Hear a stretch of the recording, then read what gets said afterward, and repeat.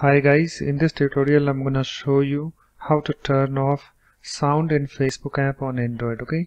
So this is my Android smartphone so let's start. So first of all you have to open your Facebook app and then log into your Facebook account okay? So let me find my Facebook app. So here is my Facebook app. Let me tap on this to open it. You can see guys it's opened. And you can see I'm already logged into my Facebook account if you haven't just log in okay? And guys if I tap on this like button you can see I have this sound okay? So how we can turn it off I'm gonna show you in this tutorial.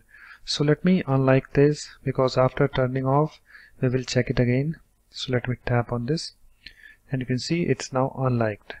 So in order to turn off sound in Facebook app what you need to do you have to tap on this three horizontal lines this menu icon over here.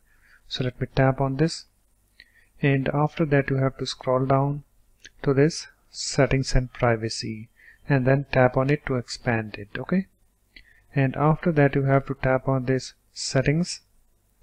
And on this screen guys you have to scroll down to media and contacts section. So let me go to that okay?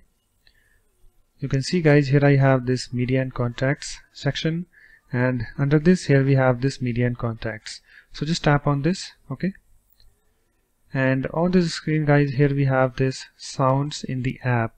You can see currently this toggle is on so you have to turn off this toggle. So let me tap on this and move this slider to the left okay?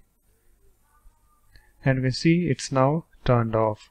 So let me go to that post and like the post and check out whether sound is coming or not okay so let me go back okay to my home page.